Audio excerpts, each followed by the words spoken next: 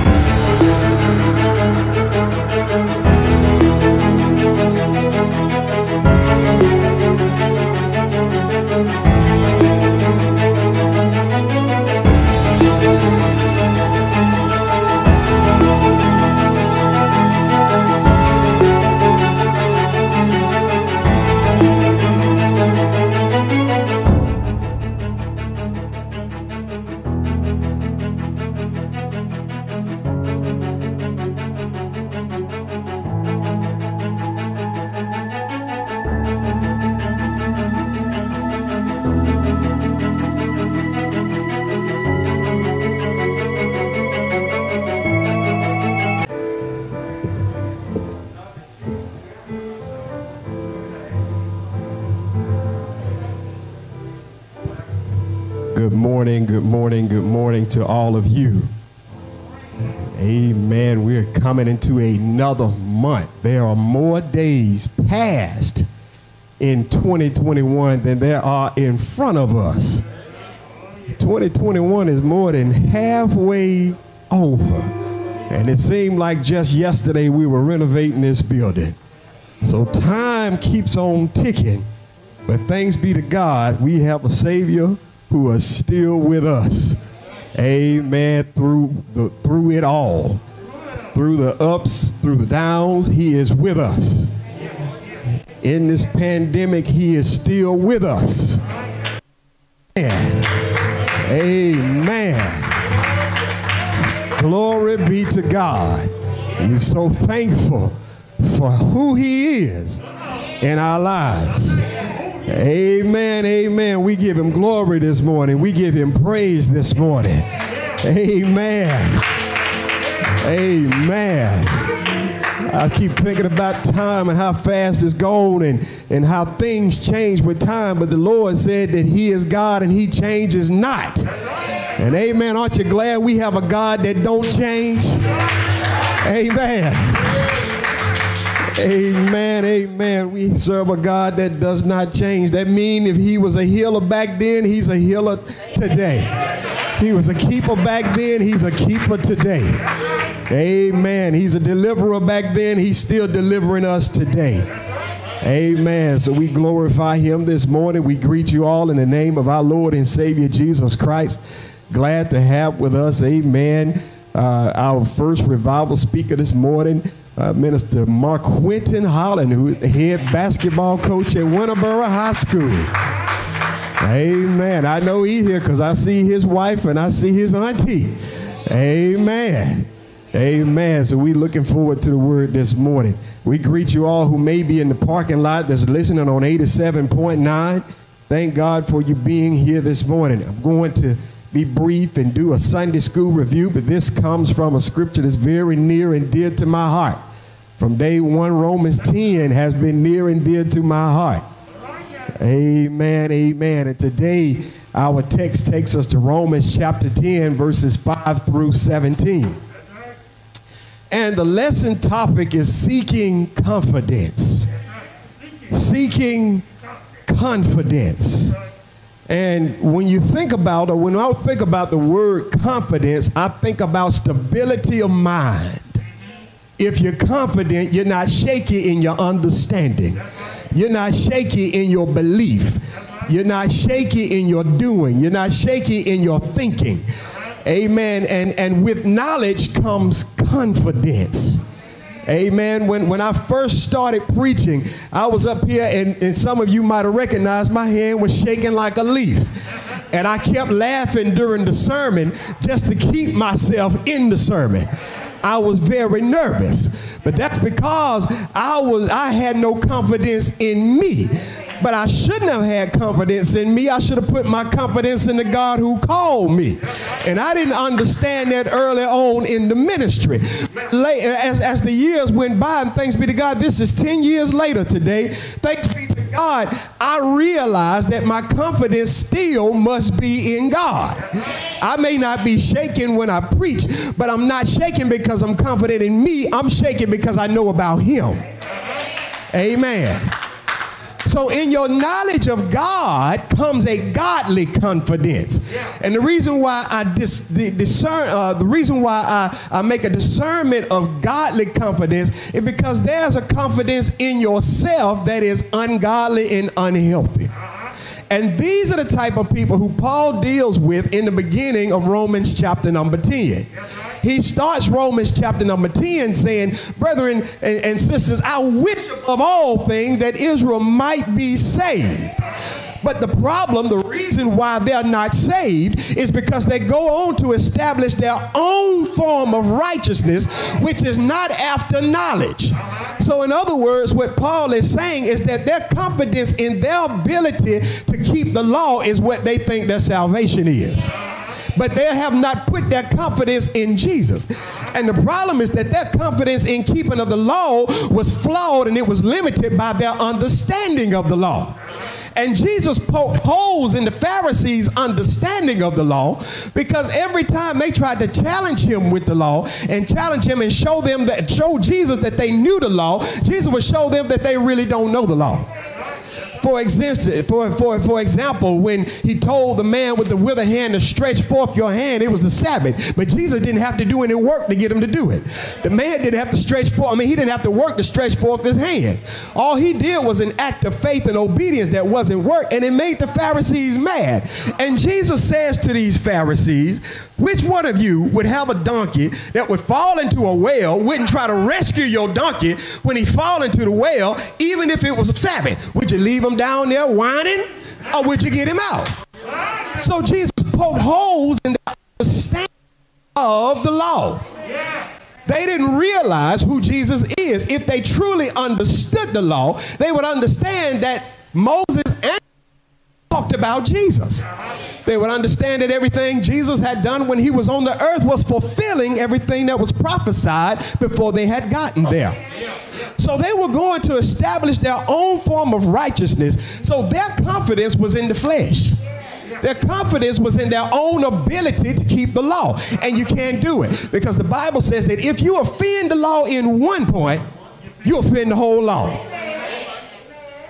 And then their system of worship, their temple worship, their giving of sacrifices was not according to Old Testament's, uh, uh, according to the Old Testament practices. They no longer had the Ark of the Covenant. They no longer had a high priest after the order of Levi. So they were not able to keep the law like God established it in the first place. But they were still confident in self. Let me tell you that there, there, there's a couple of things that happens when you're confident in yourself. If you're overconfident in yourself, number one, you'll think too highly of yourself. This was the Pharisees' problem. They thought too highly of themselves, so they looked down on people who weren't on their level. The second thing is that you won't seek anybody's help. This is the reason why they couldn't seek help from a Messiah. Because they were confident in themselves, they acted like they didn't need any help from anybody else. So they were establishing their own form of righteousness, but Paul begins our first outline by telling us that Moses described the righteousness which is of the law, that the man which doeth those things shall live by them. This is where their confidence was. But our confidence must be in this. Verse 6 But the righteousness which is of faith speaketh on this wise. Say not in thine heart, Who shall ascend into heaven? That is to bring Christ down from above. Or who shall descend into the deep? That is to bring up Christ again from the dead. But what saith this righteousness which is of faith? That the word is already close to you. It's even in thy mouth and in thy heart. That is the word of faith which he, we preach. In other words, the, the righteousness which is of the faith does not say we still waiting for a Messiah. The righteousness is of the faith say that Jesus already came to this earth and he is our Messiah. He lived a perfect life, that he died on the cross for our sin. But early on the third day, he got up with all power in his hands. That's the righteousness of the faith. People in Israel still to this day are looking for a Messiah when the Messiah clearly came almost 2,000 years ago. But those of us who would be righteous today must put our faith in Jesus Christ. Because your righteousness is as filthy rags, and your ability to keep the law, you will find that it is you have a futile attempt. You will not be able to keep the law on your own. So we put on the righteousness of Christ by believing on Christ. We put on his perfection. We put on his spirit, his character, his righteousness. Amen. Secondly, in our second outline, we, we, we have faith in Jesus Christ. He says this that if you confess with thy mouth the Lord Jesus and shalt believe in thy heart that God has raised him from the dead, thou shalt be saved. We ain't got time to deal with that in too too much detail, but we got to understand. Confess with your mouth the Lord Jesus means that you confess he is Lord you put yourself at his mercy. It's not just saying you believe in Jesus, but it is placing yourself at his hand, at his feet. It is laying your life before him and allowing him to be Lord over your life. You will allow his spirit to guide you, to speak to you, to direct you, to empower you. Jesus, you are my Lord and Savior. I don't tell you what to do, but I look to you from direction confess with your mouth the Lord Jesus and believe in your heart God has raised him from the dead, you shall be saved. Then he tells us why you shall be saved. With the heart, man believes unto righteousness. I told you when you believe in the risen Jesus that you put on his righteousness. And with the mouth, confession is made to salvation. I want you to know that he didn't put no other steps in that. No other steps. He didn't say, Whosoever shall speak in tongues shall be saved. Now, now, while speaking in tongues is a real thing, the scripture don't say speaking in tongues is a requirement to be saved. He says that if thou shalt confess with your mouth the Lord Jesus, I wish we stopped changing the scripture and believe in your heart God has raised him from the dead. This is a promise, thou shalt be saved. And if you believe anything outside of that, you're going to establish your own form of righteousness. Don't you know that that is a trick from the enemy? The enemy wants you to get in yourself. The enemy wants you to have faith in yourself, confidence in your own abilities, in your own spiritual gifts, so that you'll believe you're saved because of what comes out of you. But we're saved because what we believe came out of Jesus. Lord have mercy. We already got a preacher. This is why faith is so important. So many people put such little importance on faith, but faith is all we got. Because we put all the chips in on Jesus. We put the whole bet on Jesus. We still got to live holy, but it is because of Jesus and Jesus alone that salvation has come to the sinner. Lord have mercy. Scripture said, Whosoever believeth on him shall not be ashamed.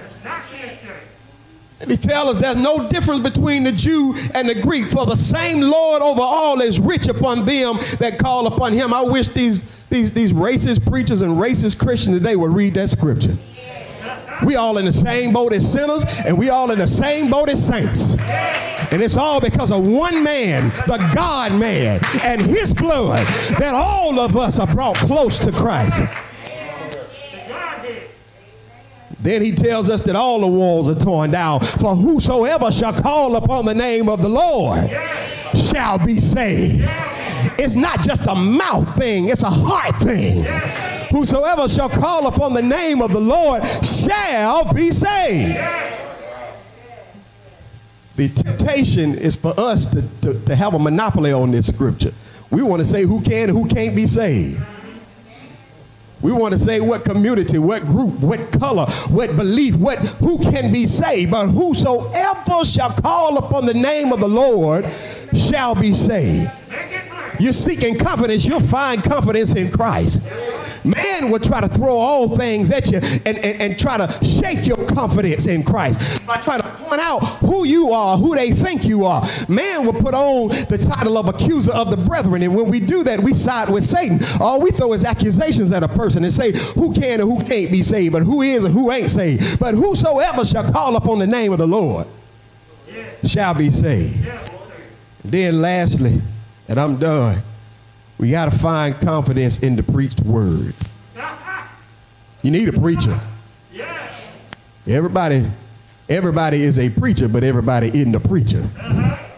Everybody that's saved has a message to tell. But God still calls those who will stand before you and speak an on time word.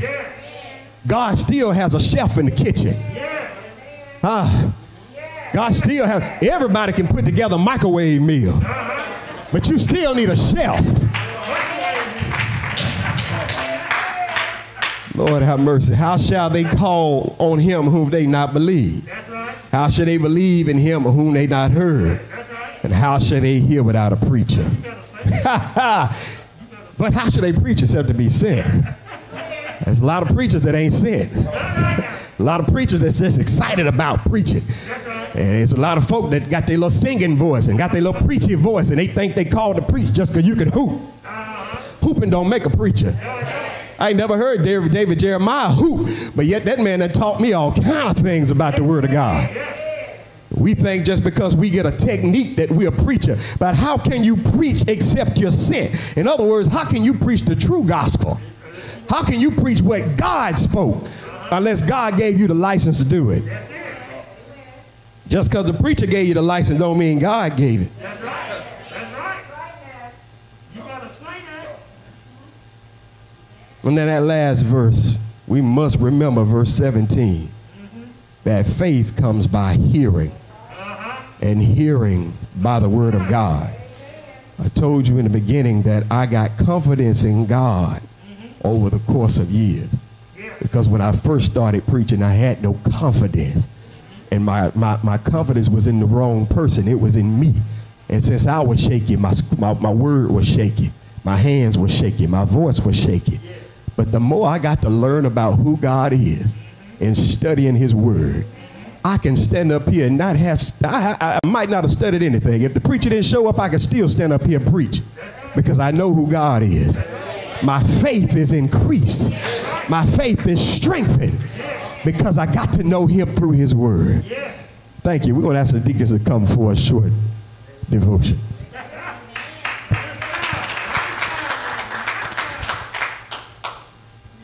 Just want to thank Pastor Jacob for giving us that review of Sunday school this morning. I hope everybody, I hope everybody take that heed. Let's just, just, just, just let go and let go. Let's think turn a couple of those songs.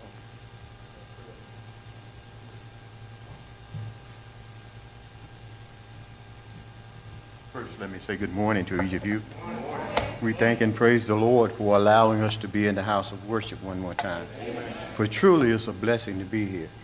You know, God is a good God and he is worthy to be praised. And we ought to praise him while we have the chance. For we don't know what tomorrow may bring. This may be our last time. Our scripture for the morning will come from Psalms 90, beginning at the first verse, and it reads as thus. Lord, thou hast been our dwelling place in all generations. Before the mountains were brought forth, or ever thou hast formed the earth and the world, even from everlasting to everlasting, thou art God. Thou turnest man to destruction, and sayest, Return ye children of men. For a thousand years in thy sight is but as yesterday when it is past, and as a watch in the night. Thou carriest them away as with a flood. They are as, the, as sleep. In the morning they are like grass which grow up. In the morning it flourisheth and groweth up. In the evening it is cut down and withereth. For we are consumed by thine anger, and by thy wrath we are troubled. Thou hast set our iniquities before thee, our secret sins in the light of thy countenance. For all our days are passed away in thy wrath. We spend our years as a tale that is told. The days of our years are threescore years and ten. And if by reason of strength they be fourscore years. Yet is thy strength labor and sorrow, for it is soon cut off, and we fly away. We know the power of thine anger, even according to thy fear. So is thy wrath. So teach us to number our days, that we may apply our hearts unto wisdom. May the Lord add a blessing to the reading of his word for the edification of our souls. Let us bow our heads for a moment of prayer. This morning, O gracious God, we come right now in the mighty name of Jesus. O gracious God, we come with no shape, form, or fashion. But Lord, we just come to say thank you. Thank you, Lord, for you've been mighty good to us. Lord, you brought us through dangers seen and unseen. And we just want to glorify your name right now, Lord. Father, you watched over us last night while we slumbered and slept. And early this morning, Lord, you touched us with the finger of love.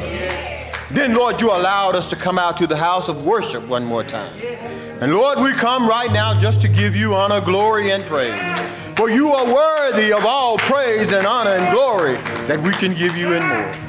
Lord, we thank you for this day. Lord, we don't know what tomorrow may bring, but we know that you are in control of tomorrow and today. Father, so we ask you to have your way in this service right now, Lord. Lead, guide, and direct our paths. Help us to step out of self and allow you to lead and guide and do the things that's pleasing in thy sight. But Lord, we realize that we need you right now.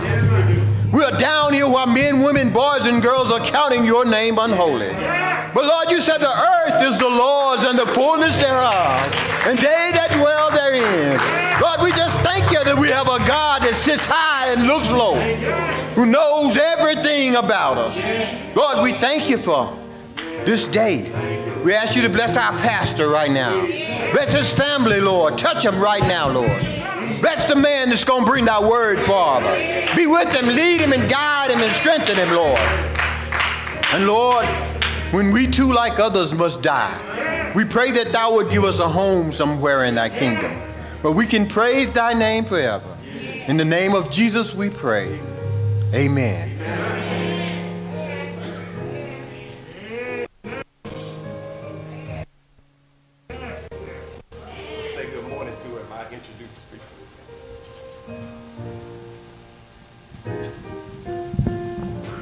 Come on, let the church say amen. Come on, let us say amen again. Come on now, let us say amen one more time. One for the Father, one for the Son, and one for the, the Holy Spirit.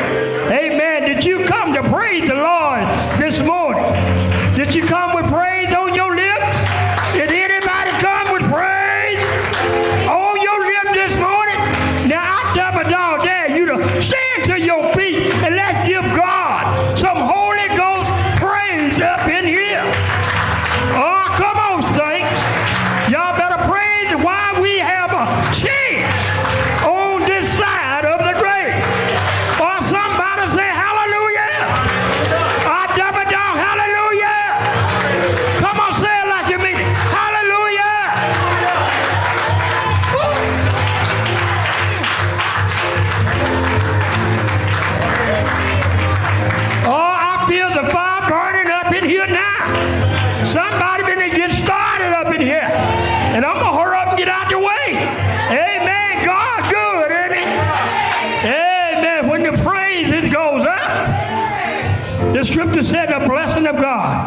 surely come down there. Amen. We want to say good morning to you. Amen. I was glad when they said, let us come into the house of God one more time. Amen. I know we come on special business this morning. Amen. And I'm going to get out the way as I said. Amen. We're going to let go and let God have his way up in here. Come on, Pastor.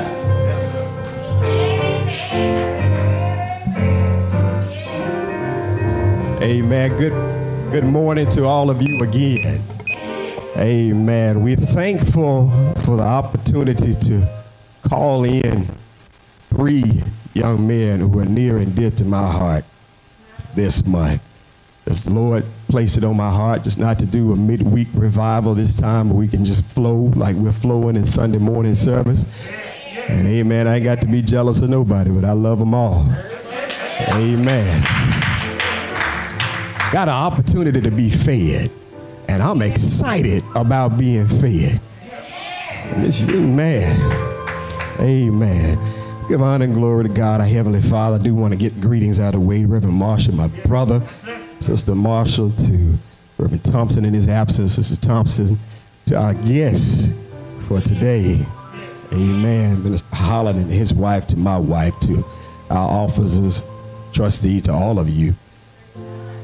I'm so thankful to introduce this young man that's about to step up and bring the word under the power of God.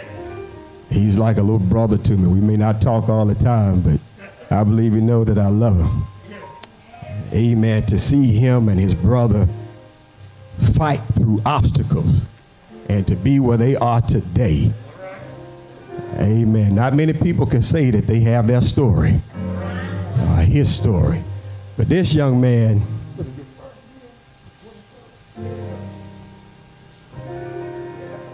this young man became the head coach of the Winterboro High School basketball team. And amen, I'm so proud of him. Amen. Looking forward to good things coming out of Talladega County down there on Highway 21. Amen, amen. But the first time I heard him preach, I heard the coach spirit come out of him. And amen, he wasn't up there trying to be like everybody else. He just did what God anointed him to do.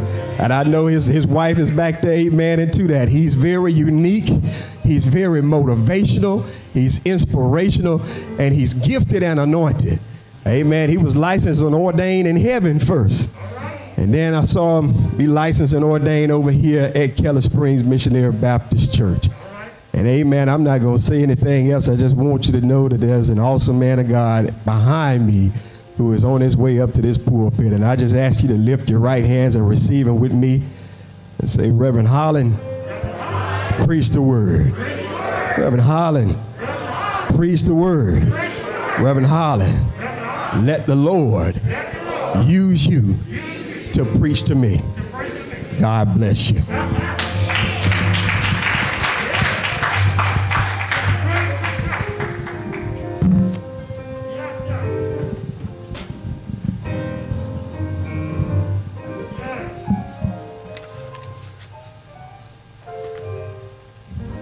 Amen. Come on give God a hand clap of praise. Come on, you can do better than that. Come on and give God a hand clap of praise. Come on, you can do better than that. Come on and give God a hand clap of praise. Okay, if that was for me, that would be okay. But I said give God a hand clap of praise. He woke you up this morning. He started you on your way. You looking better than you ever looked. Come on, give God a hand clap of praise. Oh, hallelujah. Hallelujah. Hallelujah. Surely God is worthy to be praised. Amen. Amen. I'm thankful to be here. Amen. With you. Amen. Amen. I want to give honor to God always, who's the head of my life. Amen. To your pastor. Amen. I love y'all, pastor. Amen. You have a great pastor. Come on, let's celebrate this man and God. Come on, come on, come on, come on. Amen. You have a great pastor. I'm almost afraid to preach after all that good preaching he did a while ago. Amen. But I love this man. I've known him a long time since I was a little bitty boy. Uh, amen. And he's just been an awesome, awesome man. He's an awesome mentor for me. Amen. And I'm just thankful for him, his wife, his family. Amen. Reverend Marshall, Sister Marshall, and her family. To all the officers, deacons, members, visitors, friends, saints, sinners. All of you, my father's children. I greet you in the only name that matters. Amen. That's the name of Jesus. Amen. I definitely want to get one to my wife, baby. Just wave at me. Amen. So you start talking about me, you need to know where my wife at. Amen. Amen. Grab your Bibles. Grab your Bibles. We're going to Acts, the second chapter.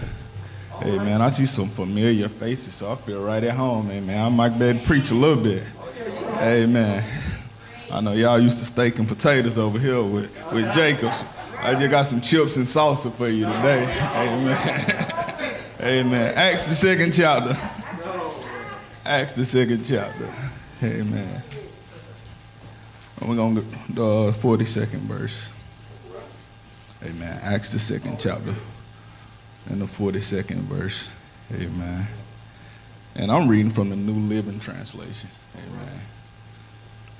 Acts the second chapter and the 42nd verse. It reads like this All the believers devoted themselves to the apostles' teaching and to fellowship and to sharing in meals, including the Lord's Supper and to prayer.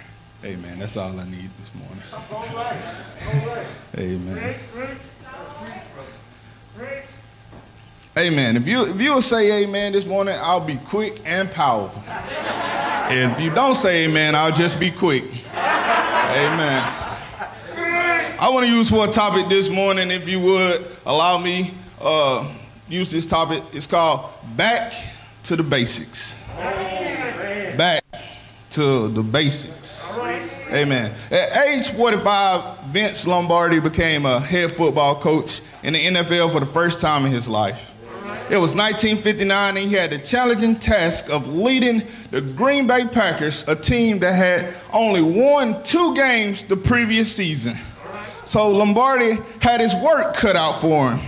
But Lombardi wasn't going to let last year's record shape his expectations. This, after all, was a new season. And I really could sit down and go on home right there, uh, Pastor Jason, because that's preaching all by itself. He said, I won't let the things that happened last year affect what's going to happen in this next season of my life. I won't let things out of my control stop me from getting what I have planned in my future. All right, y'all like Bible over here. Let me give it to you like this. Philippians 3 and 13 said, Brother, and I count not myself how apprehended, but this one thing I would do, forgetting those things which are behind me, and I'm reaching forth unto the things which are before me. Hey, let me go. That ain't my assignment today. Let, let, let, let me go. It says, when the, when the discouraged, discouraged group of players got for the first season, I'm sure they wonder how their new coach was planning to turn things around. Coach Lombardi entered the locker room and stood silently for a few seconds. Holding out a football in front of these men, he spoke one of the most famous quotes in football history. He said, Gentlemen, this is just a football. In just five words, the new coach had communicated his philosophy for the team's success. They were going to start with the basics and make sure to execute the fundamentals. Watch this now. You see, the Packers have been losing not because they lack talent, forgotten the basics. I wish I had some help this morning. And, and- and in case you didn't know, listen, I a little football myself. Uh-huh. And, and there are four keys to success if you if you want to have a successful season. Amen. And the first thing, first key to success is alignment. Alignment. See, over my coaching career, I found that a lot of times when my team gives up big play, most of the time it's not that they didn't know what to do, it's that they were out of alignment. Y'all help me preach this morning. A lot of times we Christians find ourselves out of alignment. And suddenly we find ourselves taking hit after hit and we're burdened down by things that were never intended for us. See, understanding football a little, you understand that everyone has a responsibility. And when you're not in the line, you make it hard for everyone else to do their This, this is why. This is why. This is why you have to. You have to take your car in for. See, fail to get your alignment, you put extra pressure on the tires to do their job. And before you know it, the, the, the tires are burning out faster than what they were supposed to. Can I suggest that it's some Christians burning out because simply we're out of alignment? The second thing, Pastor Everybody say assignment. God has given everyone an assignment. An assignment is a mission or position to which a person is assigned. We each have a position in the body of Christ and a distinct mission to fulfill it. But first, you must discover your assignment. Look inside yourself. What do you know God has said to you? What is your passion? What makes you happy? What makes you angry? What excites you? The answer to these questions will help you know the assignment God has placed within you. Can I tell you, beloved, that everyone can't do your job?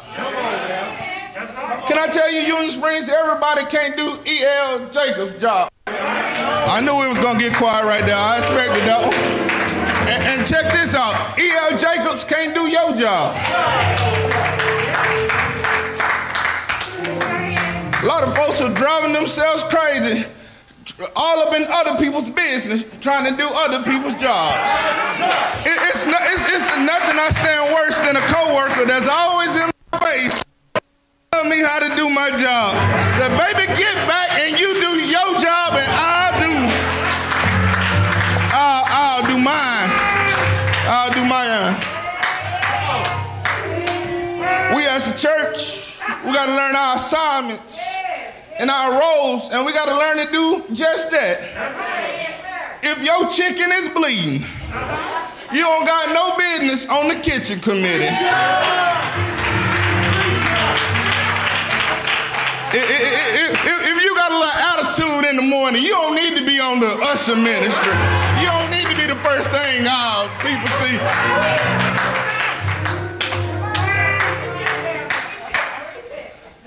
Can I submit to you that my brothers and sisters, no matter what your assignment is, it's just as important as the next person's? I would dare say to you that it's just as important as the person holding the mop that is, the holding the mic. Say amen. Amen. Amen. Romans 12 and 4 said, just as our bodies have many parts, and each part have a special function. Christ's body. Yes, we are many parts yes, of one body. Yes, and we all belong to each other. I'm gonna go ahead and I'm gonna go ahead and go ahead and finish here. First thing the key to success is technique. Technique. Technique is normally how you choose to handle things. Using in sports, it's beneficial because it promotes high performance and reduces risk of injury. Watch this. A study has shown that about 50% of people who leave the church were forced out by other people. I want to suggest to you, my brothers and sisters, using the wrong technique. Uh-huh, uh-huh, uh-huh, uh-huh. Is it possible that we have been using church as a courtroom instead of a hospital?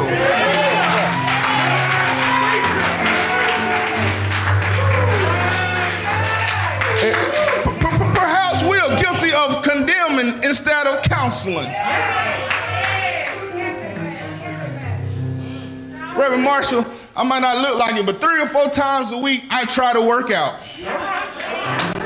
See, see, see, see, see, I like to go to Planet Fitness, Real Marsh. I like to go to Planet Fitness. And it is nothing just absolutely amazing about Planet Fitness. But there is one thing that captured my attention about Planet Fitness. And Planet Fitness establishes itself as the judgment-free zone. Uh-huh. See, their motto is we create an environment where you can relax, go at your own pace, do your own thing without ever having to worry about being judged. I feel preaching now.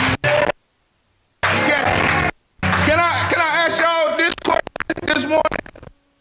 church adopted this motto. Uh, what, what, what, what if we changed our technique and how we handle people? Y'all ain't gonna like this, baby. Go get my truck. We're gonna have to go.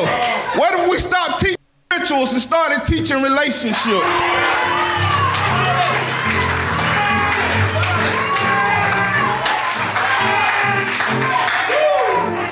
Baby, pull the car around. We got, we're going to go. We're going to go. What? Huh? The last key to success is execution. I gave you alignment, assignment, technique. Last one is execution.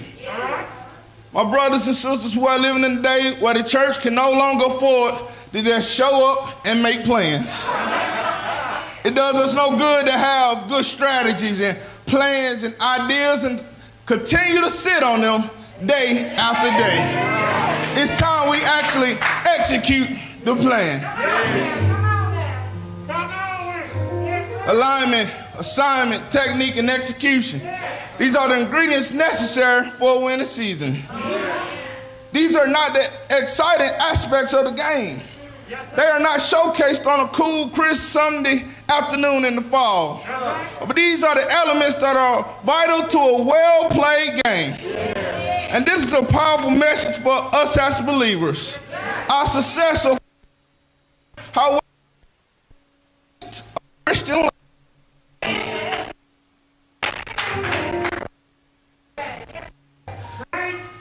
Vince Lombardi brought the Packers a new philosophy that led to incredible success in the following years, uh-huh. including several league championships and Super Bowl victories. Uh-huh. A seemingly hopeless team was given a new beginning, and Lombardi became one of the most successful coaches in NFL history. Uh-huh.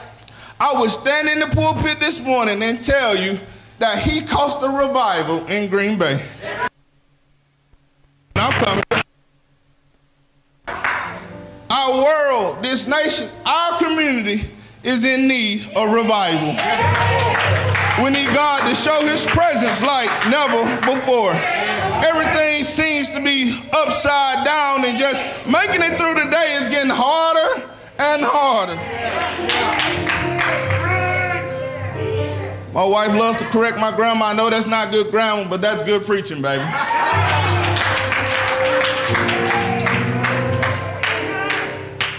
Sin has contaminated our world.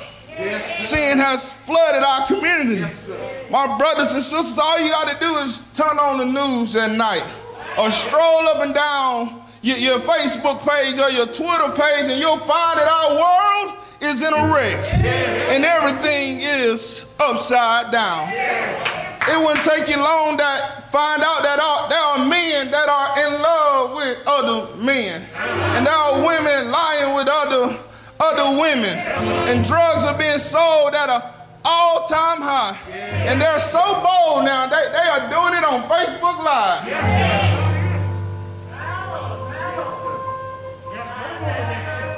Our communities are at constant war with each other. Seems like there is no peace anywhere. Gun violence is filling the land. I tell you that our world has been covered with sin, and we are in desperate need of revival. Holland, how do you know that we need revival? Good, I'm glad you asked. The need for revival is simply a result of sin in our lives. Right? Revival is restoration of spiritual life of God's people and a return to the abundant life God intended for his followers. When God revives us, we can expect authentic change and real spiritual power. Second Chronicles 7:14 says, As if my people, which are called by my name, shall humble themselves and pray and seek my face and turn from their wicked ways, and then will I hear from heaven, and I'll forgive their sins and I will heal their land. The key to our turnaround is the same as it was for the Green Bay Packers. We got to get back to the basics. However, going back to the basics means a lot more than just, just, just showing up on Sunday mornings. It's more than just being able to quote a few uh, uh, Bible verses. Going back to the basics means allowing God's word to become such a part of us that we can stand up and be a shining light in a dark world. See, see, see, many Christians are seeking the glamour and excitement in certain bizarre and flashy spiritual gifts. We're wanting a, a, a continual spiritual high. This is why you, you see all these churches and they, they just shouting and they running and they speaking in tongues. But nobody's teaching them how to live when that tongue is done. That's why they be shouting on Sunday and cussing you out on Monday. Y'all, y'all ain't gonna say nothing.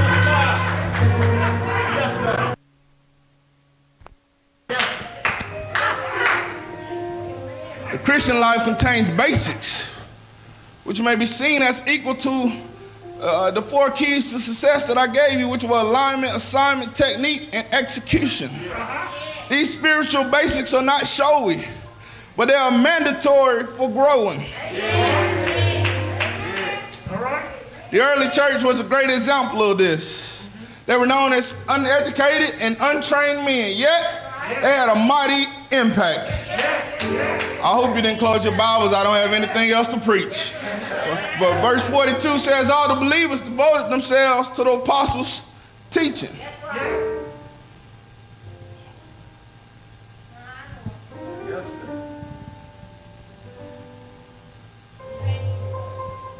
They devoted themselves to the teaching.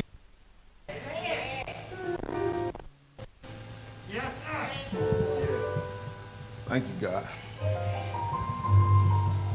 The verses we have read offer insight into the makeup of the early. It was a very exciting time lives of those within the church. Amen. Satan won't have no power today.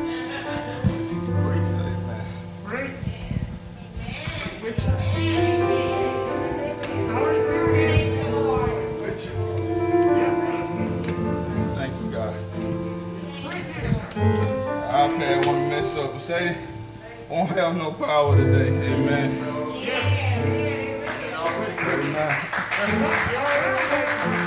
Amen. Amen. And one thing about the people of God is they showed up looking to be taught by the apostles. They showed up wanting, wanting to hear what God's word had to say. And a lot of times, this is what's wrong with the churches. We don't want to hear what, what, what's, what's real and what's authentic. We want to hear these feel good prosperity messages. And this is why we can't last when the storm comes. We, we, we, we, we want to come to church and just hear feel good. You get in the car and, and you getting you getting a new house and this, and, and when we leave out of church, storms knock our house down. Because we're not ready and prepared for what's coming.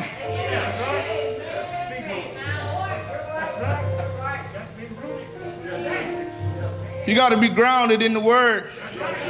The second thing in the text I see that says is they were devoted to fellowship.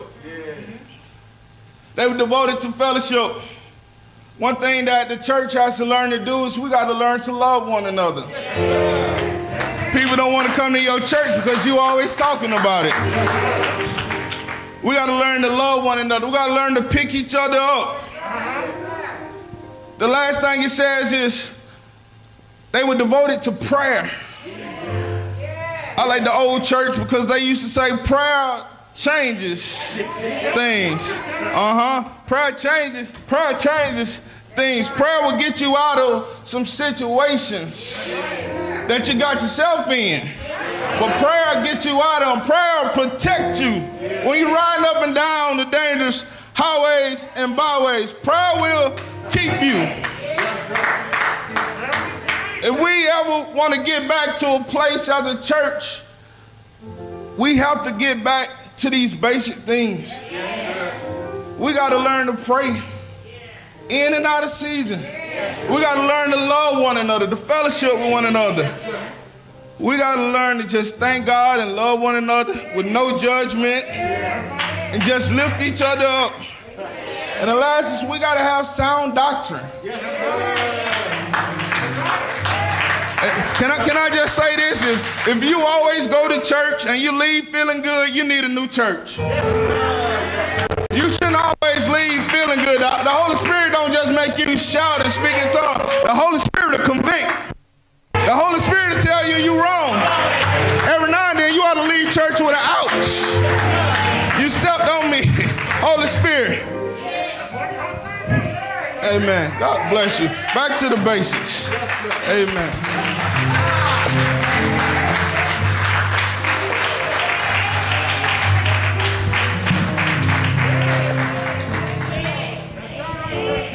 Come on, we can get a Lord some more praise for a sermon like that. Lord have mercy. We can give him a little bit more for some word like that. Amen. Amen. amen. I'm putting my mic down and clap my hand. Y'all ain't doing it right.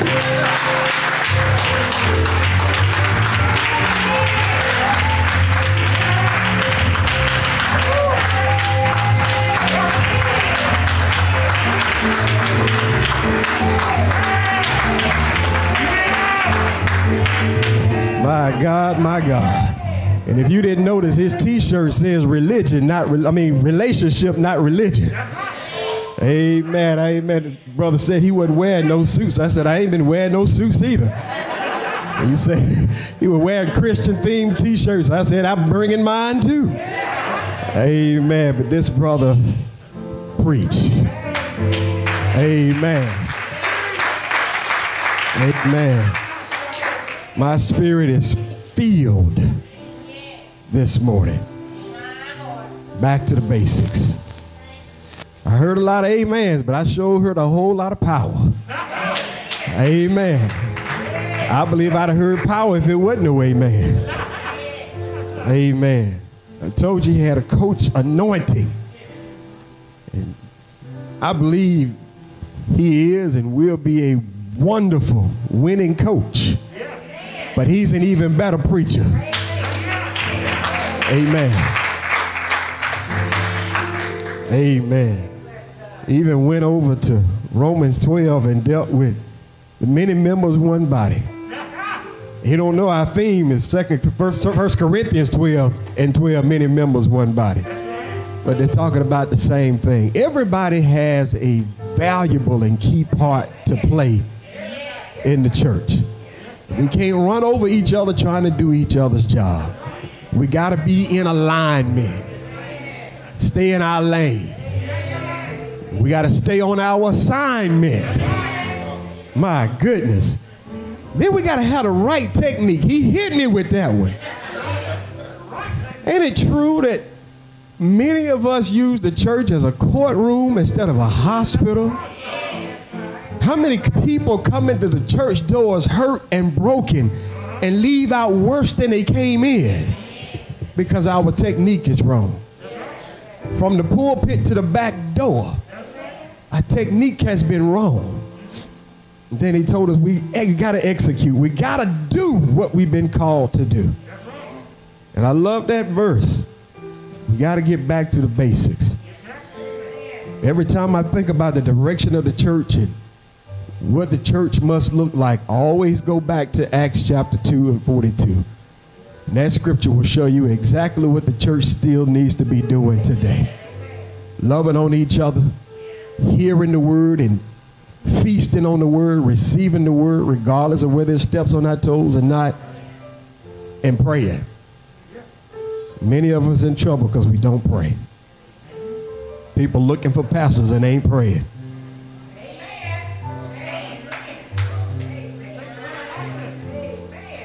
Just throw the first person that entertains us in the pulpit. And the hurt is a trickle down effect. Might be somebody who doesn't know the Lord this morning. And the free pardon of your sins. I want you to know that Jesus died for you. especially you. Doesn't matter who you are, doesn't matter what you've done. We read in Sunday school this morning from Romans 10 9 and 10 that if thou wilt confess with your mouth the Lord Jesus, believe in your heart that God has raised him from the dead, you'll be saved.